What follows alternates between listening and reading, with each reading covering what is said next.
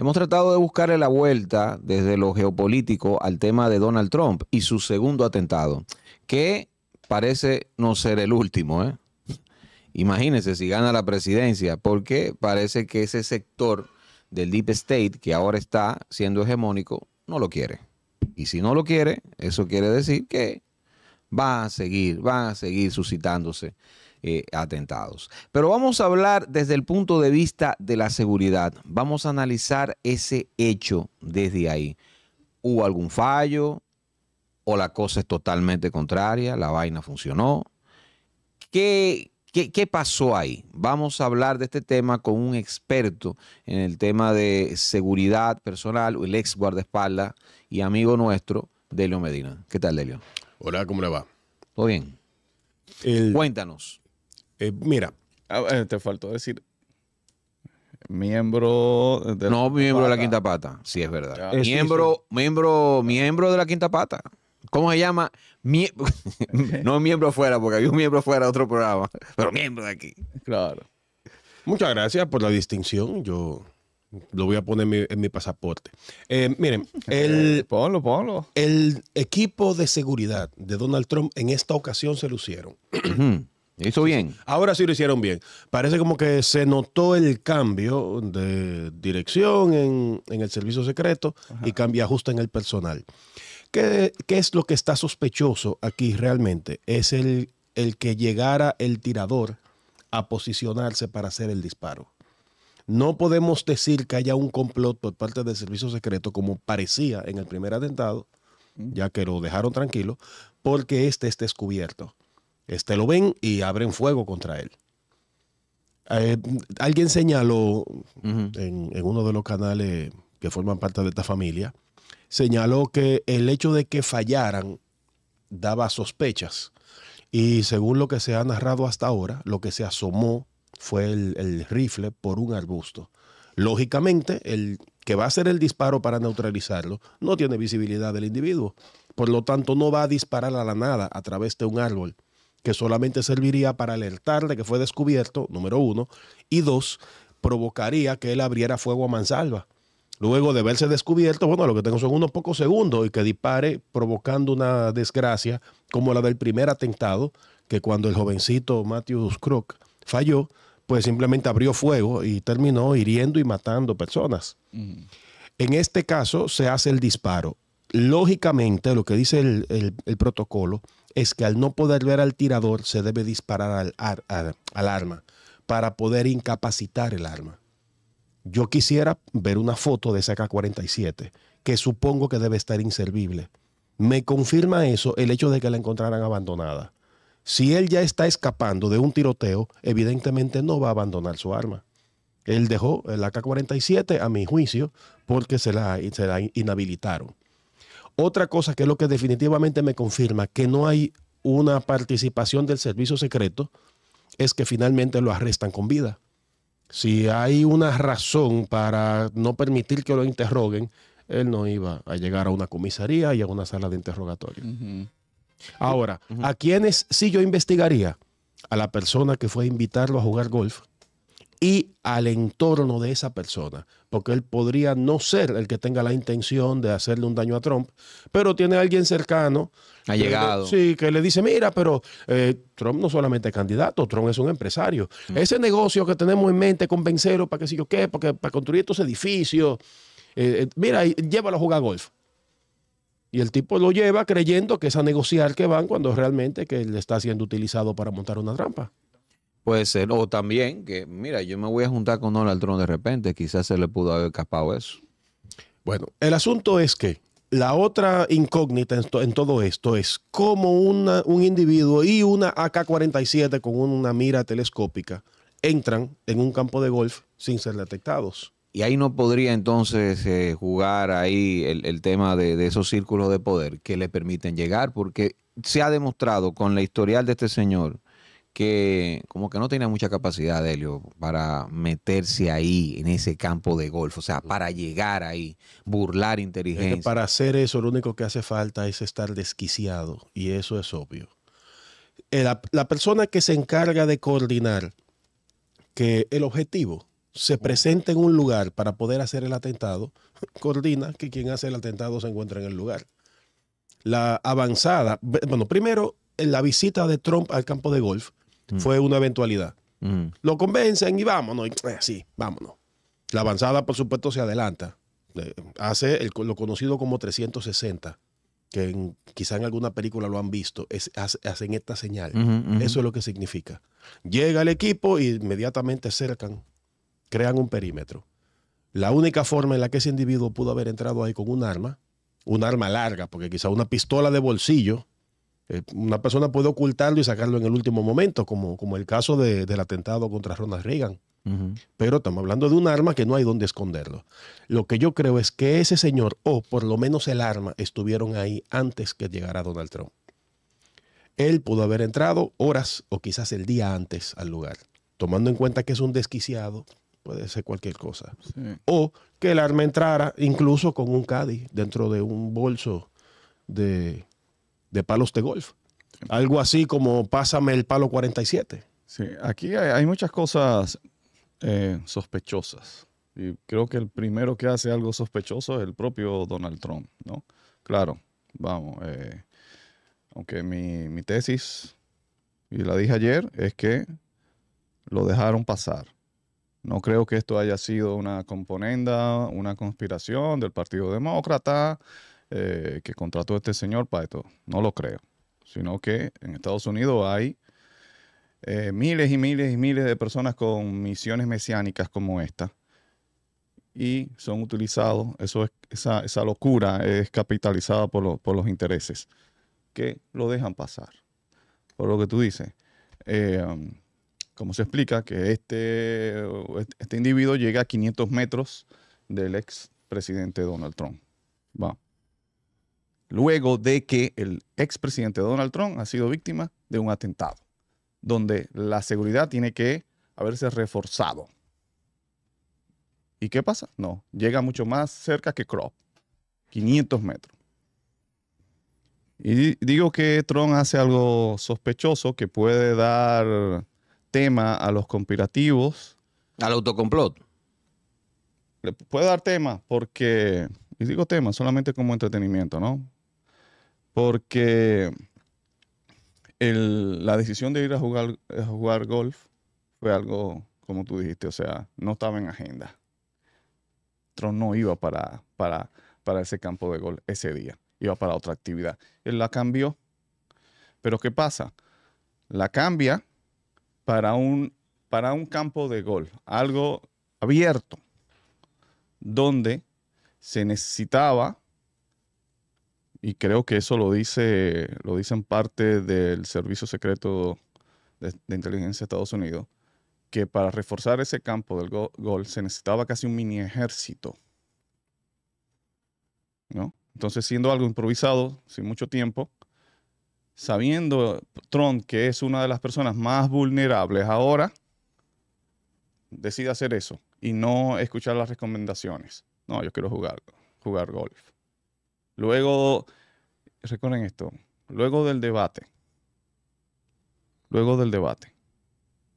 Porque, ¿qué pasó luego del debate con Biden? Un atentado contra Donald Trump. Y luego del debate de Kamala Harris, ¿qué pasó? Otro atentado. Entonces, él, él hace eso, pero vamos a ver. El tirador, hombre obsesionado con cumplir esta misión de acabar con el mal que representa a Donald Trump. Debe llevar la agenda de Donald Trump, ¿no? Un plan. Tal día va a estar en tal sitio. Pero que ese sitio se supone que Donald Trump no iba a estar y fue cambiado a última hora. Oye, pero ¿qué información tan privilegiada, privilegiada maneja este tirador?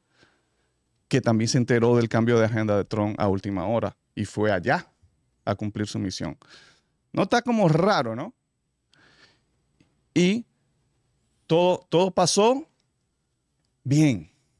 Todo pasó bien. Es decir, ahí quedó bien todo el mundo. Quedó bien el Servicio Secreto de Inteligencia que, que se dio cuenta que había una arma escondida en unos arbustos. Eso, que a mi entender es como una casualidad de, de que ese agente miró hacia ese, ese árbol.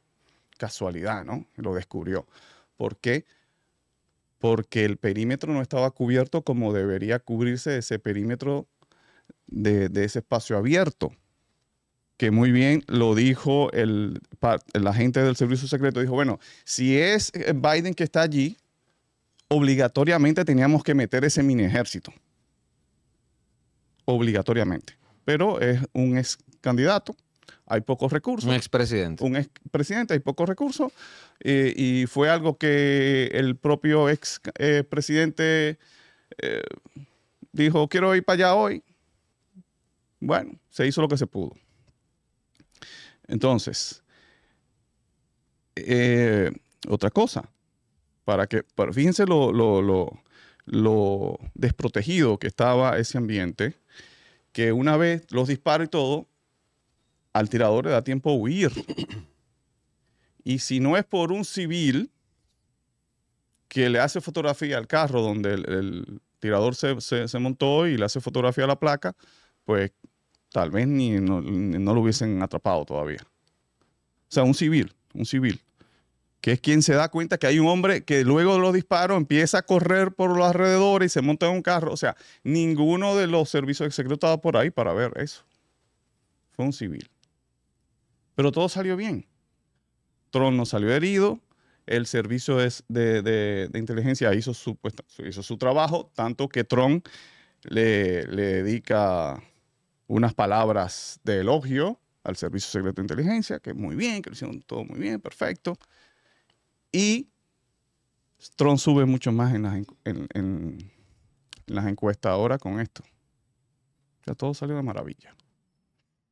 Eso pudiera, todos esos elementos le va a dar eh, eh, justificación a muchos conspirativos de decir, no, imagínate, lo dijeron, lo dijeron cuando Trump expuso su, orija- su oreja. Dijeron, no, es una conspiración de los demócratas y, y muchos argumentos. Imagínate ahora. Imagínate ahora. ¿Me permites que te responda? Bien, voy desde el principio, ojalá no se me quede nada. Mira, primero, acerca de que luego de un atentado Trump se exponga, debo comentarte algo. Mira, lo único que vence el miedo a la muerte es sobrevivirle a la muerte.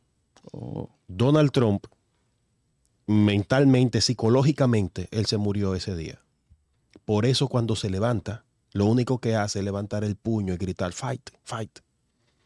En ese momento, Donald Trump, a partir de ese momento, Donald Trump en su mente es inmortal. Él va a enfrentar lo que sea. Cualquier cosa, lo que sea. Aparte del entrenamiento que tiene la guardaespaldas, es exponerse a los disparos. Ranear por debajo de una alambrada, mientras por arriba con un fusil disparan. Personas expertas en lo que hacen lanzan siempre por encima de, de la alambrada. Pero si te equivocas y sube demasiado la cabeza, se te va a pegar un disparo. Ese es un ejercicio para perder el miedo a los disparos. Ahora, quien recibe eh, un- una bala rozándole por la oreja, ese tiene en su mente el hecho de que ya enfrentó la muerte, ya le vio la cara. Entonces, que Trump, que de por sí es un muchacho bellaco, tú le das este superpoder de creerse superior al impacto de una bala y él va a salir a hacer lo que sea que se le ocurra, cosa que podría terminar provocándole el fracaso. Otro aspecto es de lo que tiene que ver con el éxito del servicio secreto. La función de, la protección que da el servicio secreto es garantizar la integridad física del VIP. Mm. El servicio secreto nunca persiguió al tirador, porque esa no es su función. Para eso está el FBI. Por eso quien lo captura es el FBI. El servicio secreto le dispara para evitar que él pueda hacer un ataque. Tan pronto como él salga corriendo, ya no está haciendo un Claro, ataque. Adelio, Ya ha sido neutralizado. si el servicio secreto no tiene el control de un, de, ah, del, del sitio a 500 metros, que está a la redonda, que está el, el candidato, porque es que 500 metros era que estaba. Es decir, ahí no había ningún eh, agente del servicio secreto, ni del FBI, ni nada. Sí, habían, porque lo detectaron a 500 metros.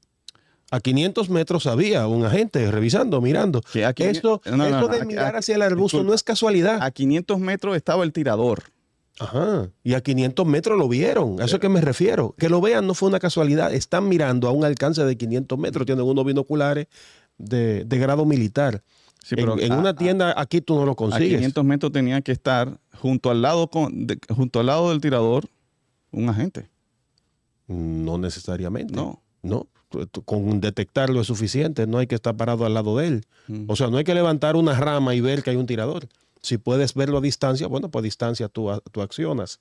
Y la función de la escolta, de cualquier escolta, es mantener a salvo al, al VIP. Neutralizar no es eliminar. Neutralizar es que la amenaza deje de ser una amenaza. Tan pronto como el Señor salió corriendo, dejó de ser una amenaza. Ahora hay un factor que podemos pensar ahora, que sabemos ahora, que ellos no saben, que es cuántos tiradores hay.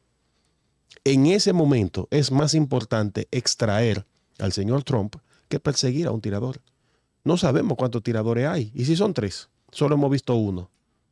Es decir, le disparamos a uno, él salió corriendo, toda la seguridad se va detrás de él. Sí, y pero- dejamos a Trump desprotegido. No, no, el FBI que lo persiga. Muy bien. El FBI lo encuentra. Pero el hecho de que, de que el propio Trump haya cambiado a última hora su agenda y su ruta, de, Sí, altamente sospechoso, pero queda claro El- y que que- la iniciativa no vino de Trump. Fue alguien que fue a decirle, mira, ven, vámonos. Eso es como el amigo que te llama a la una de la mañana. Mira, que estamos aquí en la discoteca, coge para acá. Algo más o menos así, bueno, eso, eso habría que investigarlo. Porque, por supuesto. porque si tú cambias tu agenda, una agenda que está programada días, an- an- días antes, pues es mucho más seguro. Se supone que al sitio donde tú vas va a ser mucho más seguro porque no estaba previsto. Porque cualquiera que tenga un plan para llegar a ti, lo iba a hacer a través de tu agenda. Pero si tú la cambias, vas a estar más seguro. En este caso no, en este caso fue al Mira, revés. yo te voy a decir algo. Es muy interesante todo lo que tú planteas, pero y divertido sobre todo. Sí, esto lo- Pero la idea de un autoatentado se descubre. Un autoatentado se descubre. Si Trump hubiera diseñado un autoatentado en, en Pensilvania, ahora mismo los demócratas estuvieran haciendo un festín de eso. Igual ahora.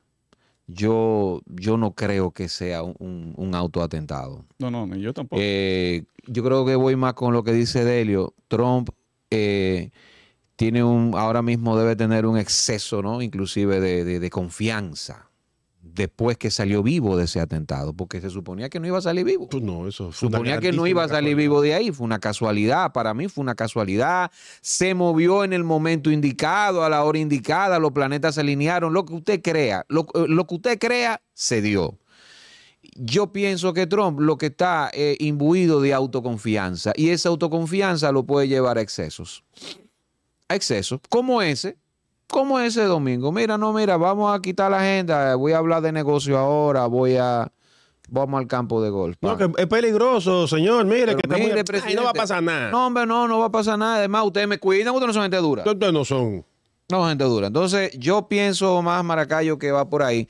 Y lo digo más por el tema del, de eso, de que el autoatentado en Estados Unidos, en una nación como Estados Unidos, eh, se detecta. Eh, óyeme, eso ahí se va a detectar. Y más el servicio secreto. El servicio secreto. tengo un factor. El servicio secreto per- pertenece al final del día, pertenece al gobierno. Entonces, a- alguien va a decir, eh, mire, eh, eh, se va a reportar al, al- al superior, sí, esto fue armado. Alguien lo va a decir, alguien lo va a colar. Edwin, te tengo un factor determinante. Tienen bajo custodia al, al tirador, al, al atacante. Si es un montaje, en un interrogatorio se lo sacan. No es un interrogatorio de alguien que asaltó una tienda. Están, interrogando a alguien que intentó cometer un magnicidio. Así mismo. Entonces el, el interrogatorio de él es diferente. Ese señor posiblemente en este momento se encuentra en Guantánamo, eh, siendo interrogado allá con las técnicas propias de un, de un interrogatorio para las personas que A propagan ritmo- el terror. A ritmo de Slayer, Angel of Death. Lo interesante es Buen eso, volumen. que la investigación se centre en quién le dio la información a este señor de que Donald Trump iba a estar allí ese día. Eso sería bastante interesante. Pero tú sabes que eso, eso no va a trascender. Por- porque, escúchame, hay que repetirlo. El jefe de Blackwater, ¿verdad? La compañía de mercenarios estadounidense célebre, Eric Prince, dijo, tienen que tratar de que ese hombre no llegue a mano del FBI. Porque si llega a mano del FBI, se van a empezar a borrar huellas. Se van a empezar a borrar antecedentes, Una trazos. acusación seria. Ta, ta, ta, ta. Sí, él lo dijo, ¿no? Lo dijo así mismo. Bueno. Y te voy a decir, ¿tú sabes por qué ese hombre tiene su vida preservada? Porque lo agarró la policía estatal. Porque el señor, el gobernador Ron DeSantis, se metió en el tema. Sí. Si no, Ese, ese es un hijo de él ahora. rata, ta, ta, ta, ta, ta, ta, ese hombre tuviera hace rato, eh, ¿cuántos pies bajo tierra son? Seis. Todos los pies que tú quieras. Six feet under tuviera ahí hace rato, ¿eh? Sí. Eh, Cuidado con eso. Eh, no, y también el asunto de que este tirador, que era puede pensar, ah, que tiene ideales demócratas, que está defendiendo la guerra de Ucrania, pues aquí ahora hay un- como un arroz con mango y la gente como que no entiende bien. Pero hay que decirle que yo pienso que este señor lo que se siente es traicionado por las políticas republicanas o por las políticas que Trump implemen- implementó cuando llegó. Pero los ideales de este señor son extremadamente republicanos, tradicionalmente republicanos, Tú dices de que perpetró el- el- del, del- asunto. del tirador. A mí Porque, me eh, parece más nazi que, que republicano. Bueno, pero ajá. Bueno, a- antes las cosas estaban perfectamente divididas, identificables. Lo que pasa es Sí. que ahora todo se ha unido. Sí, sí, sí. ahora demócratas, republicanos actúan de la misma forma. Uno no sabe. Bueno, pero hace años de eso, en Maracayo. Sí, bien, Eso, pero o sea, que están actuando igual, él- eso no, eso no fue los otros él días. votó, él votó por Hace Trump. más de 40 años que esto está así, que son iguales. Trump es que ha marcado la diferencia ¿eh? Bueno, eh, respecto de eso. Bueno, ya sí, sí, sí. sí. El único Ya- verdadero conservador. ya se- Verdadero conservador. Lo Claro, este lo- señor- los neocons son y los demócratas son iguales. Lo que digo es que este señor votó por Trump, ¿verdad? Y se sintió decepcionado. Y vot- votó por Trump porque tenía sus ideales eh, republicanos y, pe- y s- pensó que Trump pues había traicionado esos ideales. Ya. ¿ven? Eh, y este señor, un perfil público, porque este tirador tiene un perfil público conocido ya, había sido entrevistado por revistas, periódicos, creo que el New York Times también lo entrevistó una vez, eh, como un tipo ahí con unas ideas locas de ir a Ucrania y reclutar afganos para salvar a Ucrania de Rusia. ¿no? Lo tenían ahí en, en- en ese tipo Ah, de de- entrevistas. de esa- ¿cómo se llama? De esas, ay Dios mío, de esa, de, eso- de esa serie, artículos de propaganda de New York Times Sí. a favor de, de- ¿verdad? A favor de Ucrania. Exactamente. O sea, e- era un perfil público prácticamente y muy bien pudo haber sido utilizado por intereses y ser aupado, alentado en su misión mis- mesiánica, incluso en ese proceso de ser ale- alentado, ¿verdad? Empujado, Ujú. vamos, animado, Sí. le pudieron dar la información esta de va a estar aquí ahora. Cambió la No, agenda. va a estar aquí mañana. Ya. Él llegó Tu gran oportunidad, antes amigo. que la seguridad. Él, o al menos el rifle, llegaron antes de que llegara la seguridad. De haber alguna participación por parte del servicio secreto, él hubiese podido dispararle a Trump. Porque si el servicio secreto forma parte del complot, el servicio secreto sabe exactamente cuáles son las debilidades.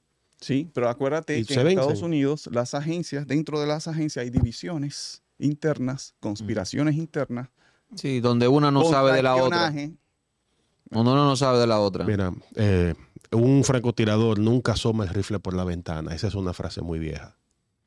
Es una, una forma de decir que cuando tú vas a hacer algo en secreto, tú no andas exhibiéndolo. Entonces, el, el- el francotirador no asoma el rifle por la ventana. Ahora, ese refrán podemos traerlo a este caso. El tirador de Tron no asoma el rifle por el arbusto. De él haber tenido eh, el apoyo del servicio de inteligencia, todos esos errores hubiesen sido subsanados antes de que el momento llegara. Finalmente, Delio, ¿tú crees que se producirá otro atentado contra Donald Trump? Porque yo, estoy- yo empecé especulando, ¿eh? yo empecé lo que yo pienso, diciendo lo que yo pienso, pero tú crees que, tú como especialista, ¿tú crees que puede ocurrir Mira. otro sin ningún tipo de problema? Para decirte, en dos escenarios. Número uno, si la seguridad hace lo que tiene que hacer, el próximo atentado posiblemente ni siquiera uno lo sepa. Sea controlado antes de que, de que haya que hacer un disparo. Y número dos, la familia de Trump tiene que hacerlo aterrizar en la delicadeza de su momento para que no vayan a perderlo.